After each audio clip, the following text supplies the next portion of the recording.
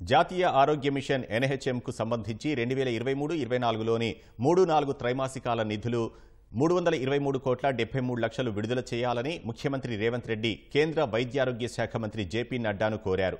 ఈ మేరకు ఢిల్లీ పర్యటనలో భాగంగా నడ్డాతో సమావేశమైన రేవంత్ రెడ్డి ప్రస్తుత ఆర్థిక సంవత్సరం మొదటి త్రైమాసిక గ్రాంట్ రెండు వందల ముప్పై ఒక్క కోట్ల నలభై లక్షలు మంజూరు చేయాలని విన్నవించారు.